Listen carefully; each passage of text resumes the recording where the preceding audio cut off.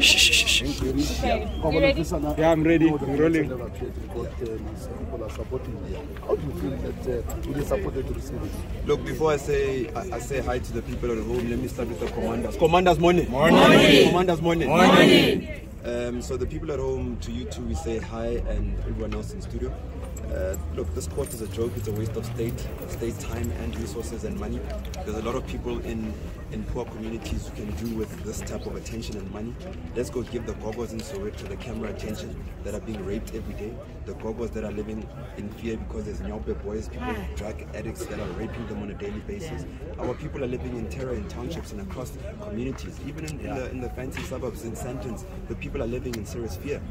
We're in a lawless country. It's just Absolutely. unfortunate. So when people, when politicians think that it's a better investment to attack a progressive young person of the country instead of helping and assisting and making sure that these young people are more resourceful so that the country can go forward, they see it fit to go and stand with drug dealers that we are fighting and say that we as politicians are, are standing with the drug dealer so, so that the drug dealer can open a, a mythical case against this, these young people. So you must understand the country that we are all living in. Mm. It's an unfortunate country.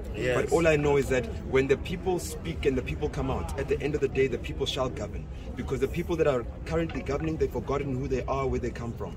And we'll make we'll send a soft reminder of who they are. And if they don't wake up to that realization, they're going to realize once the people have taken over this country. Because we as the ordinary people are going to take over this country. We are tired of the nonsense. We're tired of the, polit- the politicians selling our country to the highest bidder. We're tired of the politicians selling our communities to the highest bidder. Yes. So if you if, if you paid attention, I spoke less about my court case and more about the people of the country. Yes. Yes. So this court case really has nothing to do with me. It's just to suppress the voices that are emerging because the nonsense voices that are that are filling our parliaments that are doing nothing in parliament just want to hog the positions of power. And that will never work.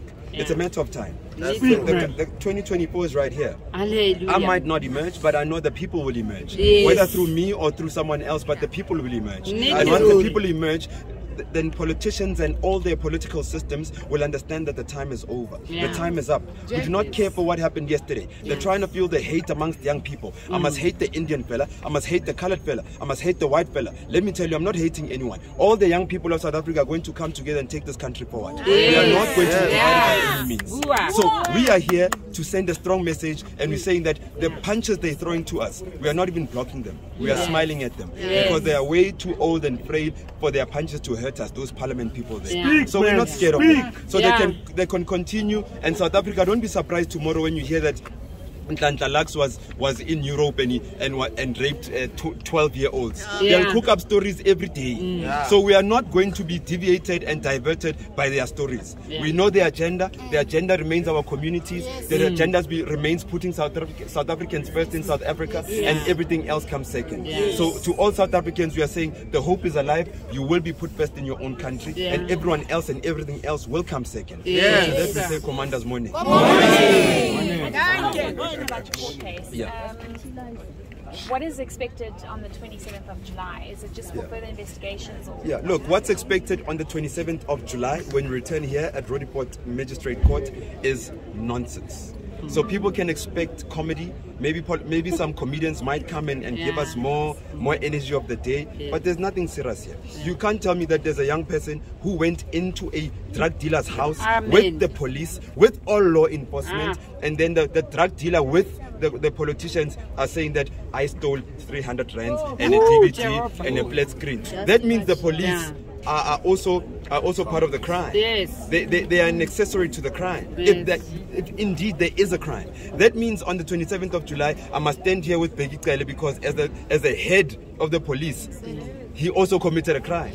How, how do you how, how do you get arrested alone when at a particular point of, of, of, of the crime you were with the police? Wh- Why, why wasn't that reported to the police? The man was in his own house with me and the police being present. Why did they didn't say, police, this man is taking my DVD. He's taking my TV. Mm. He took my 300. Yeah. He took my phone. Yes. No, no, you wait after until you consult your, your, your so-called CIC, who's only known to make noise at stadiums and rallies, Yeah. but not be impactful in the real issues of our people on the ground. Yeah. I didn't want to attack that Yeah. man, but it's very disappointing from young people to see politicians who are in parliament siding with drug dealers and Ah. doing this to our community. It's disgusting. Pathetic. So to them, we say that we'll treat them with love always, we'll not attack them because they too, all, all these politicians, unfortunately or fortunately, they will also be beneficiaries of our leadership. Come the day, come the time, they will also be beneficiaries of our leadership. We will not say that because they did bad to us yesterday, well then today because we are in power, we'll do bad to them. They'll be the first point of correction so that the young people can see what happens to old people who lose their minds and politicians who forget why we voted for them. Morning. Tata Commander. Yeah, yeah. Danke, Sis. Hare ho, ya runa.